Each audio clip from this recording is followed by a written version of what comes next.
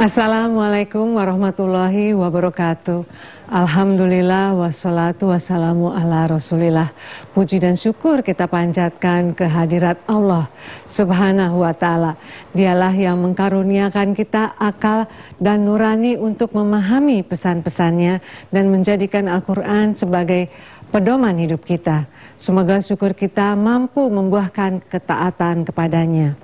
Pemirsa, di suci Ramadan ini kita berjumpa lagi dalam program Tafsir Al-Misbah mengenal surah Al-An'am bersama Pak Quraish Shihab yang merupakan rangkaian program Berkah Karunia Ramadan Metro TV. Pada episode ini, insya Allah kita akan membahas ayat 109 dan selanjutnya. Ayat-ayat ini antara lain menjelaskan tuntutan orang-orang musyrik kepada Rasulullah agar Tuhannya menurunkan mukjizat yang bersifat fisik. Selengkapnya penjelasan ayat-ayat ini akan disampaikan oleh narasumber kita Pak Quraish Shihab. Selamat pagi Pak, apa kabar? Alhamdulillah. Alhamdulillah. Alhamdulillah. Ya, pemirsa, pagi ini kita juga ditemani oleh Jemaah dari pengajian Majelis Nur Ramadan Bintaro Jaya Sektor 5, juga Majelis Taklim Al-Awabin dan pengajian Anissa Cibinong. Assalamualaikum ibu-ibu yang cantik. Terima kasih sudah hadir bersama kami. Baiklah pemirsa, kita akan langsung saja. Silahkan Pak. Baik. Auzubillahiminasyaitonirrajim. Bismillahirrahmanirrahim. Ayat yang akan kita bahas ini adalah lanjutan dari uraian ayat-ayat yang lalu. Allah menjelaskan ini bukti-bukti keesaan saya, ini bukti-bukti wujud saya, ini bukti-bukti kekuasaan dan lain-lain sebagainya. Tapi orang-orang musyrik itu tidak mau percaya Silahkan yang mau percaya silahkan, yang nggak mau percaya tidak apa-apa. Orang-orang musyrik di Mekah ini selalu saja apabila dipaparkan kepada mereka kebenaran itu selalu berkata kami ingin bukti tentang kebenaranmu yang sifatnya fisik yang bisa kami lihat dengan mata kepala yang bisa kami raba yang bisa eh, eh, kami dengar langsung dan itu sangat istimewa. Kami mau seperti misalnya Nabi Musa, tongkatnya begini. Eh, di sini mereka berkata, ayat kita yang akan kita bahas ini, ayat 109, wa aqsamu billahi jahda aimanihim la in ja'athum ayah la yu'minunna biha. Mereka itu bersumpah dengan sumpah yang sesungguh-sungguhnya, sekuat kemampuan mereka bersumpah, dan dengan menggunakan nama Allah. Kami bersumpah demi Allah. Kalau, kata mereka, kalau datang kepada kami bukti yang kami minta itu, pasti kami percaya apabila Allah di sini berkata mereka bersumpah kalau datang kepada mereka bukti yang mereka minta itu mereka akan percaya. Nabi Muhammad disuruh jawab begini. Qul innamal ayatu indallah. Sampaikanlah Nabi, wahai Nabi Muhammad kepada mereka itu bahwa yang berwenang, yang kuasa membawakan bukti-bukti yang kalian minta itu Allah. Saya tidak bisa. Saya ini manusia seperti kalian. Oke. Kita berhenti sejenak. Sebenarnya Allah kuasa memberi memberi mereka apa yang mereka minta. Tetapi di ayat lain ada dikatakan bahwa sudah berulang-ulang kami memaparkan bukti-bukti yang diminta oleh orang-orang musyrik semacam mereka, tetapi setiap kami datangkan bukti itu mereka tidak percaya. Jadi tidak ada gunanya ini. Jadi yang menghalangi kami, yang menjadikan kami tidak memberikan mereka itu mukjizat yang mereka minta adalah karena walaupun kami beri, mereka tetap tidak percaya. Padahal Al-Quran ini sebenarnya sudah cukup untuk menjadi bukti kebenaran. Memang Al-Quran harus difikirkan, harus dipelajari. Kalau tongkat jadi ular itu langsung dilihat. Tetapi kita lihat tongkat menjadi ular bisa jadi orang berkata saya dihipnotis. Ya kan? Ini sihir. Jadi Islam itu menghendaki agar orang percaya berdasar akalnya. Bukan berdasar hal-hal yang bersifat suprarasional. Umat-umat yang lalu itu kalau diibaratkan seperti anak kecil. Masuk perlu bukti. Umat yang sudah dewasa itu pakai akal. Oke, baiklah. Kul innamal ayatu indallah baru dikatakan wa ma yush'irukum annaha iza ja'at la yu'minun. Rupanya ada orang-orang Islam berkata begini, sahabat-sahabat Nabi, embok dikasih aja. Diberikan aja biar mereka percaya kan. Kita kan mau ini orang-orang percaya. Maka ayat lanjutan ayat ini berkata, apa yang menjadikan kamu merasa wahai kaum muslimin apa yang menjadikan kamu merasa bahwa kalau bukti-bukti itu disampaikan kepada mereka, mereka bakal percaya. Seakan-akan Allah berfirman begini, memang bukti-bukti melalui nalar membuktikan mereka tidak akan percaya. Tapi kan ada orang berkata begini, memang saya nggak ada bukti, tapi perasaan saya begini. Yeah. Ya, Memang buktinya ini tidak, tapi perasaan saya tidak begitu. Allah mengajak kaum muslimin begitu. Apa yang menjadikan kamu merasa bahwa kalau diberikan itu. Oke. Okay. Mereka percaya. Baru dikatakan begini. Sebenarnya mereka tidak percaya. Wa nuqallibu af'idatahum wa absarahum kama lam yu'minu bihi. Ini saya akan jelaskan dulu. Tahu artinya kalbu apa itu kalbu? Hati ya. Kenapa hati dinamai kalbu? Kalbu itu artinya berbolak-balik. Hati itu berbolak-balik ya toh karena itu hati dinamai kalbu. Sekali begini sekali begitu. Orang yang tidak punya pendirian berbolak balik hmm. ada sistem yang ditetapkan Allah bahwa hati bisa berbolak balik karena dipengaruhi. Sekali begini sekali begitu. Nah ini kaum musyrik begitu. Dia tidak pernah mantap hatinya. Nah dikatakan kami membolak-balik afidatahum. Afidah itu jamak fuad, itu juga artinya kalbu. Tetapi lihat bedanya. Eh, saya senang pada si A atau saya benci pada si A. Hati saya tidak bisa untuk tidak senang. Ya, di luar kuasa saya ya. Nah, kalau di luar kuasa kita itu dinamai kalbu. Kalau di dalam kuasa kita itu dinamai fuad. Jadi yang bertanggung jawab itu fuad. Allah membolak-balik fuad mereka, hati mereka. Membolak-baliknya. Sebenarnya mereka ada satu orang begini, saya beri contoh. Dia berkata, wah saya, katakanlah seorang ibu, seorang ayah punya anak. Bu, ayah, saya cinta dia. Saya tidak bisa lagi kuasai hati saya. Benar tak? Boleh jadi benar.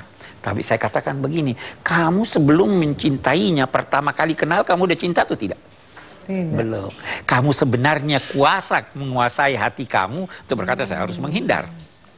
Tapi karena kamu terus mendekat, sampailah kamu pada satu batas sehingga kamu tidak menguasai dirimu. Nah, yang bertanggung jawab itu hati. Hati yang namanya fuad bukan hati yang namanya kalbu. Allah berfirman, kami membolak-balikkan fuad mereka. Sekali mau ini, sekali mau itu. Baik, saya kira kita lanjutkan sebentar. Baik, terima kasih Pak. Baiklah pemirsa dan juga hadirin yang ada di sini, sebelum kita mendengarkan lebih jauh lagi tentang penjelasan surah Al-An'am ayat 109 dan seterusnya, kita akan jeda dulu sejenak untuk itu tetaplah bersama kami dalam tafsir Al-Misbah mengenal surah Al-An'am. Hidup ini adalah pertarungan antara kebenaran dan Pemirsa, kita kembali lagi dalam program Tafsir Al-Misbah mengenal surah Al-An'am bersama Pak Quraish Shihab. Silahkan Pak, dilanjutkan. Baik, kita lanjutkan. Jadi ada sistem yang ditetapkan Allah pada setiap manusia. Kalau dia tidak imun, kena virus, kena kuman. Kalau dia tidak mantap hatinya menyangkut sesuatu, itu terus bimbang berbolak-balik, ya kan? Oke. Okay. Kami membolak-balikkan hati mereka, fuad mereka, pandangan mereka kama lau lam yu'minu bihi. Sehingga sekarang mereka tidak beriman walaupun diberi bukti sebagaimana dulu ketika diberikan bukti-bukti itu mereka juga tidak mau beriman. Sekarang mereka tidak beriman walau diberi bukti sebagaimana dulu mereka tidak beriman setelah bukti-bukti itu datang. Di, di episode yang lalu kita ada bicara tentang bukti-bukti yang dipaparkan Allah. Baik. Walau eh, fadarhum wa nadaruhum fi tughyanihim ya'mahun. Kami biarkan mereka dalam kesesatan mereka terombang-ambing itu itu orang musyrik, itu orang kafir, itu orang munafik terombang-ambing terus. Sekali begini sekali tidak mantap. Orang mukmin itu dia punya dia konsisten. Apa pun yang terjadi, saya begini. Oke. Okay? Baru dikatakan walau annana nazzalna ilaihimul malaika. Seandainya kami menurunkan kepada mereka dari saat ke saat malaikat dan seandainya kami menjadikan orang-orang mati berbicara kepada malaikat. Dan seandainya kami kumpulkan kepada mereka di hadapan mereka semua bukti-bukti. Kumpul semua bukti-bukti.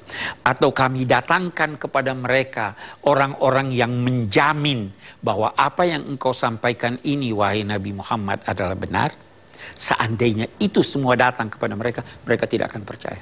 Hmm. Orang mati sudah bicara, bangun orang mati. Ini Nabi Muhammad benar nih, tidak mau percaya. Malaikat dia lihat ini benar, tidak percaya. Jaminan diberikan, tidak percaya.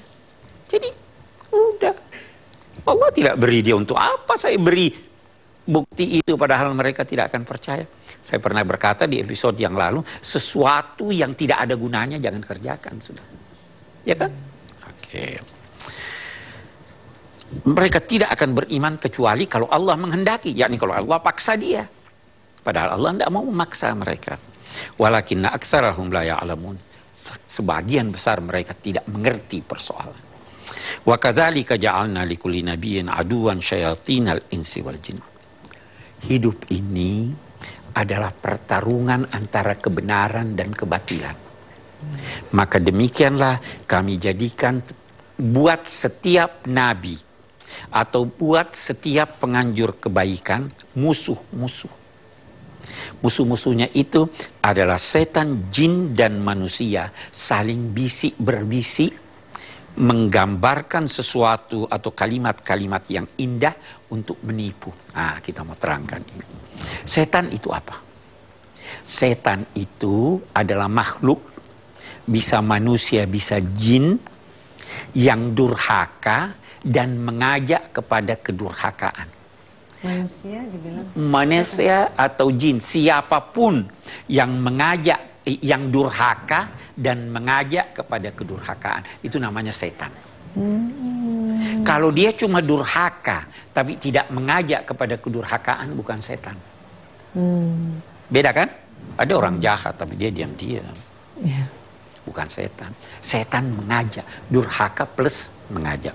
Setan-setan manusia bersama setan-setan jin itu sebagian mereka membisikkan kepada sebagian yang lain hmm. bekerja sama hmm. dalam hal menggambarkan meng, me, me, me, menghidangkan kata-kata indah hmm. tetapi yang menipu Hmm. Oh ini begini, ini bagus, ini dibisikkan pada anda itu. Hmm. Walau sya'a rabbuka ma fa'aluhu. Kalau Allah menghendaki, itu tidak dilakukannya. Tapi Allah tidak menghendaki itu karena dia ingin uji kita. Ini orang kuat terombang ambing atau tidak. Kita tidak tahu kebaikan kalau tidak ada setan. Ya, ya. tahu enggak artinya sehat kalau tidak pernah sakit. Nah, tahu enggak artinya baik kalau tidak tahu keburukan. Tuhan mau uji kita. Ini orang baik atau tidak. Oke. Fadharhum wa mayaftarun. Biarkan saja mereka dengan kebohongan-kebohongan mereka. Baru dia katakan, walitasgha ilaihi afidatul ladzina la yu'minuna bil akhir. Saya mau jelaskan ini begini. Setan itu, setan manusia atau setan jin itu menyampaikan kata-kata indah pada manusia. Kata-kata yang indah, yang dikemas dengan indah, tetapi isinya buruk itu, kalau Anda tidak suka, anda tinggalkan atau tutup telinga. Ya, kalau tidak suka. Dan kita nonton TV, acaranya jelek, udah deh, saya tinggalkan, saya tutup. Ya. Tapi kalau Anda dengarkan, ada langkah berikutnya. Bisa jadi hati Anda cenderung. Oh, belum suka, baru cenderung. Yeah. Itu artinya sudah dengar, yeah. ya kan? Kalau yang pertama tadi belum dengar. Uh-huh. Atau tidak mau dengar. Ini yang kedua, setan menggoda itu pertama langkahnya. Dia kasih kata-kata indah. Padahal ini sebenarnya buruk ini. Uh-huh. Kalau Anda ini, saya tutup. Saya tutup telinga, saya tinggalkan. Tapi kalau Anda biarkan, Anda dengar. Karena ini indah, mulai ada kecenderungan untuk itu. Ya, meningkat ini. Baru tingkat ketiga apa? Setelah ada kecenderungan, baru dikatakan waliyardauhu. Dia senang sudah tertipu nih, sudah senang sekarang. Apa yang keempat?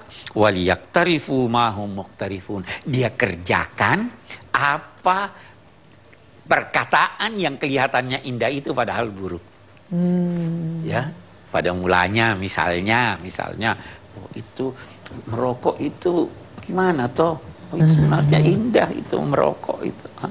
Oh, enggak benar. Tutup, jangan mau. Nah, ini istimewa. Ada yang pertama, bagaimana itu? Dia mulai bertanya. Nah, sudah cenderung hatinya. Oh, dia puas, ini benar nih.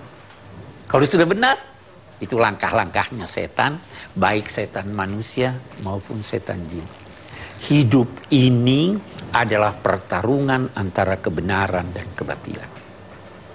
Kalau Anda tidak hati-hati, tidak memperhatikan substansi sesuatu, hanya lihat kemasannya, Anda anggap hebat, bagus. Padahal tidak demikian. Ini yang dikatakan, ini sehari-hari terjadi. Saya kira eh, kita cukupkan dulu. Oke, okay, baik. Sangat menarik sekali ya, Pak Kures. Pemirsa, demikianlah penjelasan Al-Quran tentang betapa Walau banyaknya bukti akan kebenaran, namun selama manusia tidak membuka diri untuk menerima hidayah niscaya, hidayah itu tidak akan mereka dapatkan. Tetaplah bersama Tafsir Al-Misbah. Bangkai tidak boleh dimakan. Kalau dibunuh oleh Tuhan, tidak boleh dimakan. Kenapa yang dibunuh oleh manusia Pemirsa, kita kembali lagi dalam Tafsir Al-Misbah mengenal surah Al-An'am bersama Pak Quraisyihab. Silakan dilanjutkan, Pak. Ya, jadi kita tadi sudah lihat langkah-langkah setan. Saya katakan hidup ini begitu.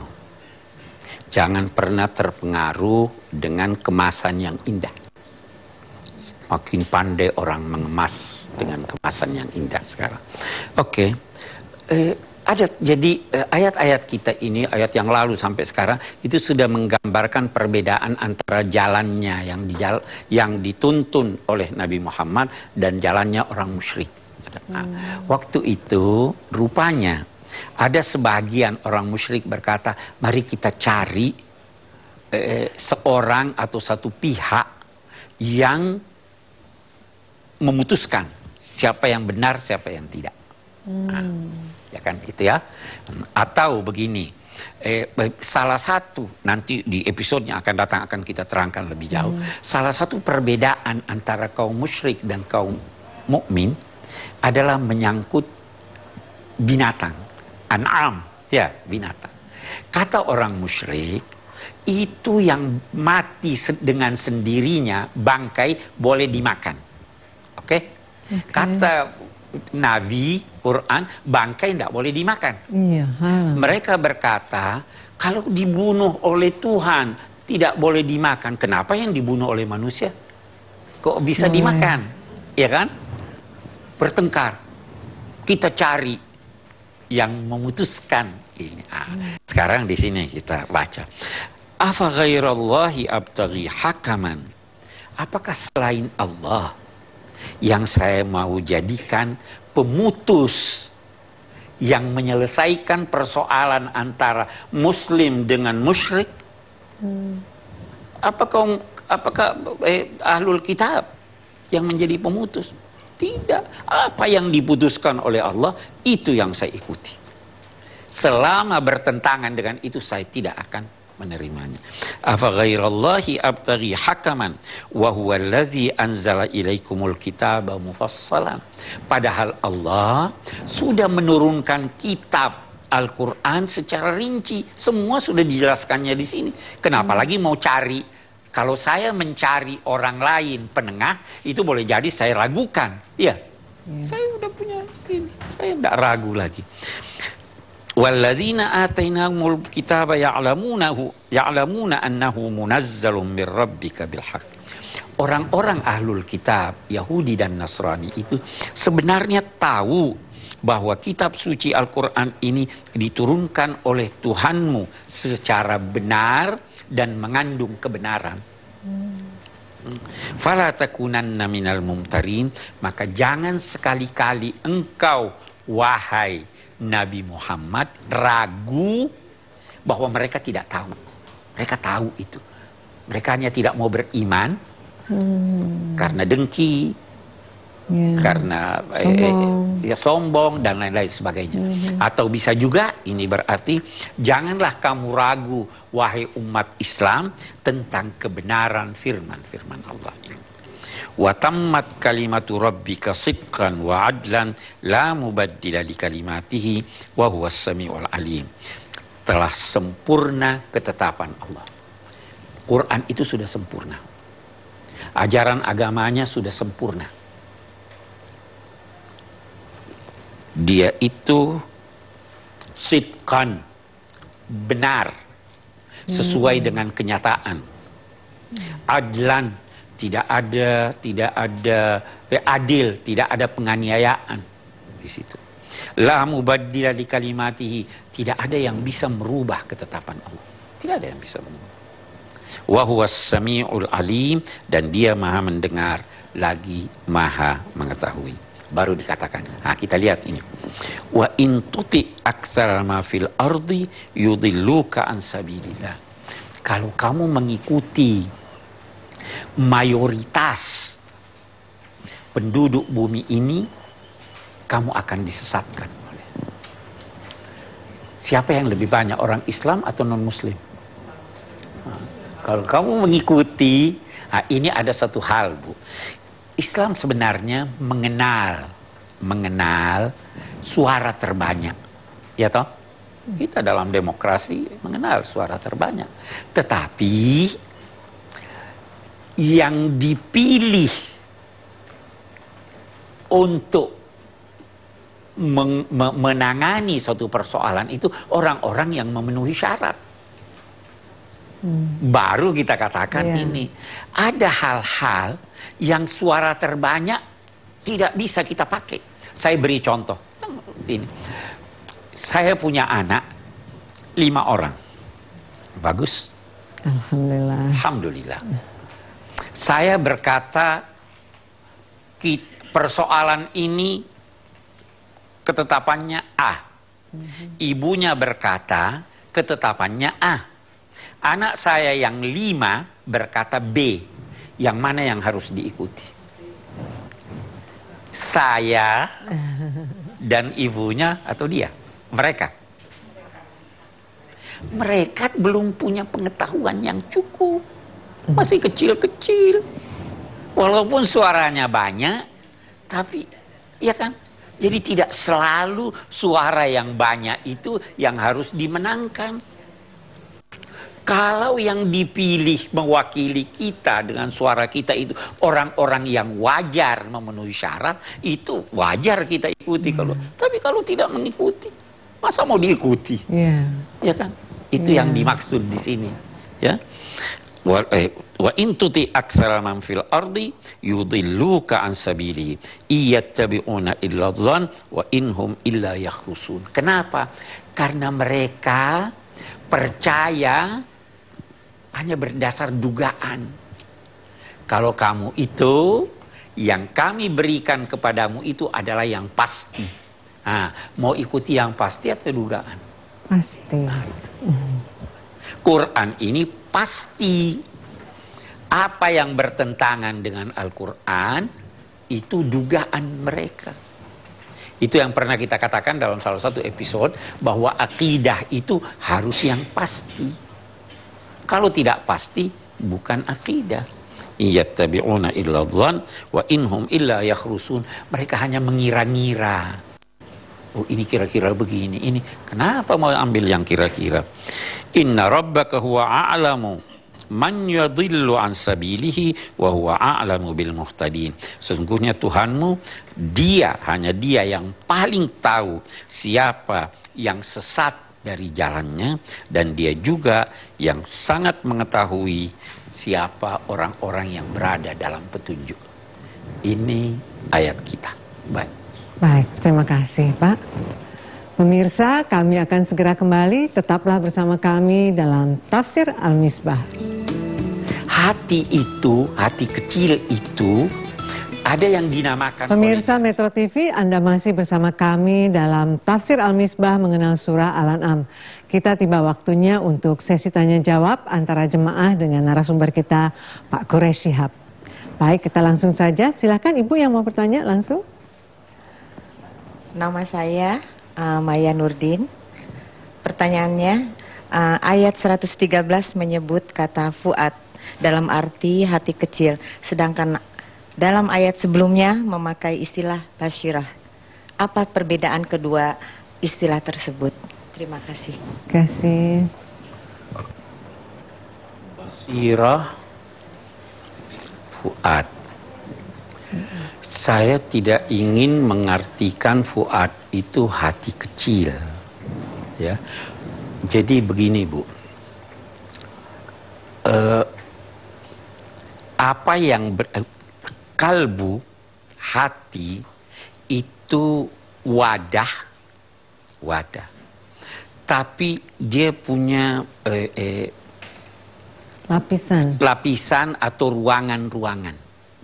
Nah, tadi saya katakan, saya beri contoh. Nabi misalnya ber, ber, berdoa pada Allah, ya Allah, inilah eh, cintaku kepada istri-istriku cinta itu ada yang mampu ku eh, lakukan dengan adil di antara mereka, ada juga yang di luar kemampuan saya sehingga ada yang saya lebih cintai dari yang lain. Nah, Nabi berkata, "Hada qismi fima amlik, fala tuakhidni fima la amlik, fima tamlik wala amlik."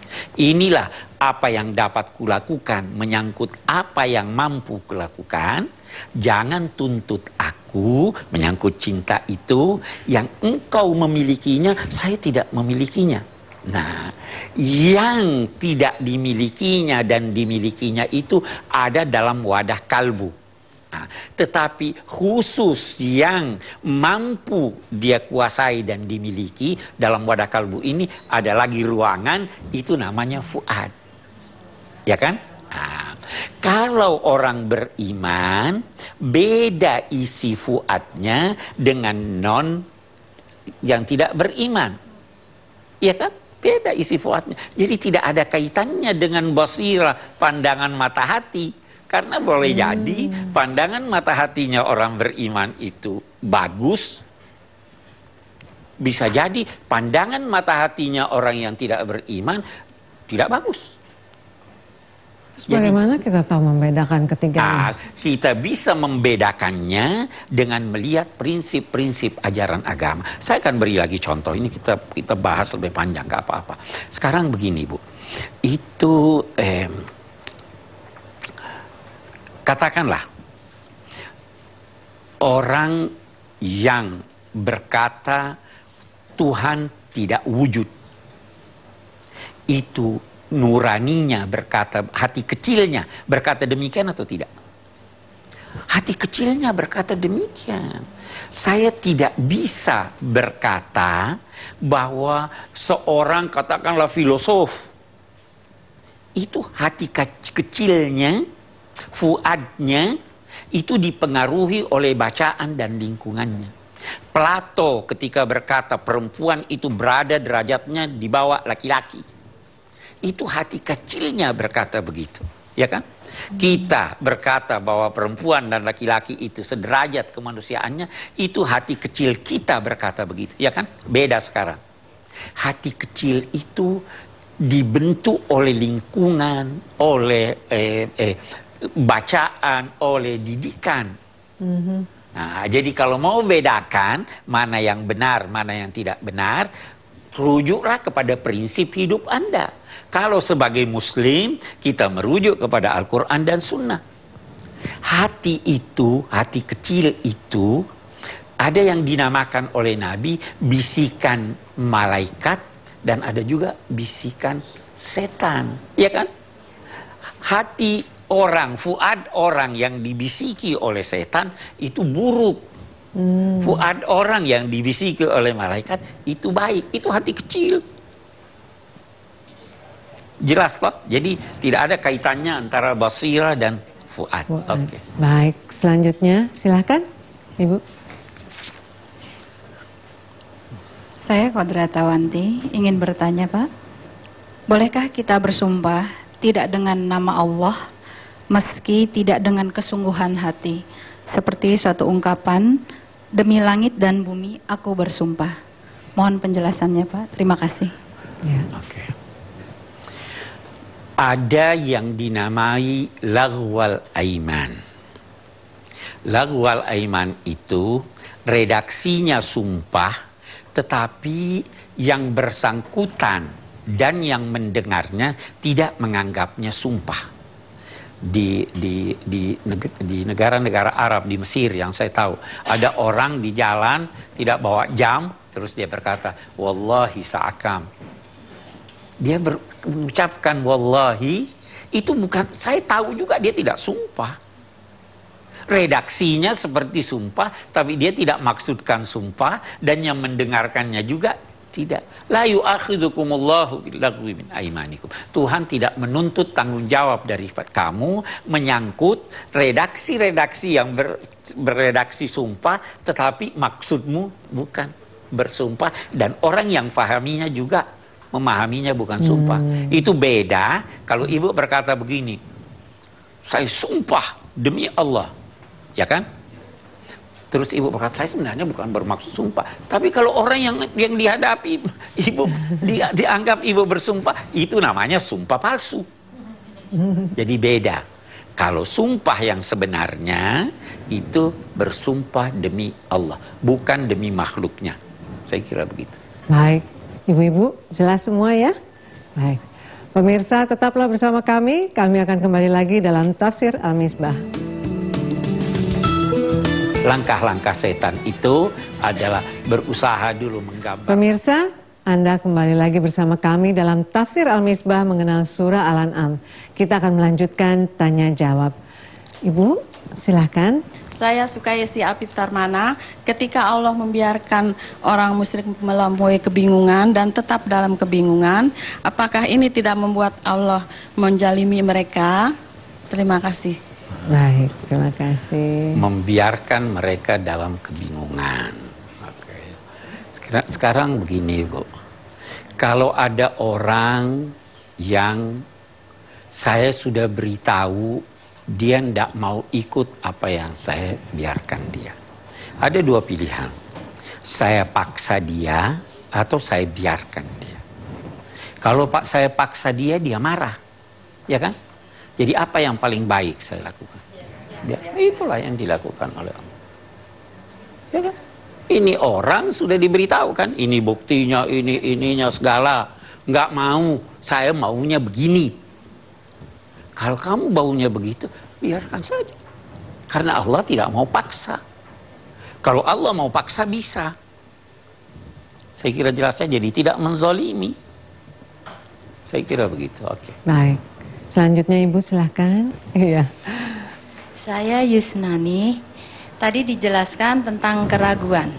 Bagaimana pandangan Bapak terhadap orang yang kepribadiannya selalu ragu dan selalu berubah dalam mengambil keputusan? Dan apakah orang yang begitu bisa berubah? Terima kasih. Ya orang yang ragu itu kan kepribadiannya eh, eh, labil itu ya. Hmm. Nah, itu tidak punya pendirian. Pendirian itu dikukuhkan oleh pengetahuan. Orang yang nggak tahu, dia bingung. Ini bagaimana? Ini bagaimana? Ya toh. Nah, sekarang begini. Dalam konteks agama, saya mau bicara dalam konteks agama. Ragu nih, saya mau beri contoh ragu. Itu ada ragu ada orang yang ragu waktu berwudu. Iya. Iya. Itu tahu. Itu setan yang menjadikan dia ragu. Ini dia dia ragu. Ini air bersih atau tidak ya? Bersih atau tidak ya? Dia ragu sudah. Untuk menghambat Anda ini. Sudah oh ya, terus dia ya oh ini sudah bersih. Ambil lagi. Ini tadi dua kali atau tiga kali ya? itu ada setan yang fungsinya khusus untuk itu. Itu harus dilawan. Tahunya gimana Pak? Lah, kalau Anda sudah ragu-ragu seperti itu, mm -mm. yakinlah bahwa itu dari setan. Ya, ada orang keraguan. mau Allahu Akbar. Allahu Allahu. Apa? Jangan ragu. Itu ya. Jadi tapi kalau hati Anda mantap, Hmm. Kalau Anda dekat kepada Allah, itu sebagai wa iza azamta fatawakkal Allah. Kalau sudah bulat, serahkan pada Allah. Saya kira itu. Baiklah, mudah-mudahan Ibu semua jelas ya. Sekarang kita langsung saja Pak pada kesimpulannya. Pada kesimpulan apa sih yang kita baca tadi? Hmm. Jadi Iya. Kita baca dari ayat berapa tadi? 109, Pak. 109, bagus. Dari 109. Uh, eh, iya, saya kira yang pertama bahwa uh, uh, hati yang dituntut untuk bertanggung jawab itu dinamai fuad, ya toh? Dan manusia tidak dituntut pertanggungjawabannya menyangkut sesuatu yang berada di luar kemampuannya. Okay. Yang kedua, bahwa hidup ini adalah pertarungan antara kebaikan dan keburukan. Setan selalu memperindah yang buruk. Memberi kemasan indah terhadap keburukan, maka berhati-hatilah. Jangan setiap yang ditampilkan indah, lantas Anda menganggap bahwa itu indah. Bisa jadi pakaiannya ya, oh ini indah, padahal sebenarnya buruk. Bisa jadi. Oke. Okay. Eh, yang ketiga, langkah-langkah setan itu adalah berusaha dulu menggambarkan kata, dengan kata-kata indah. Kalau Anda tidak setuju, itu selamat Anda. Anda tutup telinga. Tapi kalau tidak, anda dengar, begitu terbuka kesempatan mendengar, dia goda lagi Anda supaya senang, Begitu Anda senang, Anda ikuti apa yang dia sampaikan. Itu langkah-langkah eh, setan.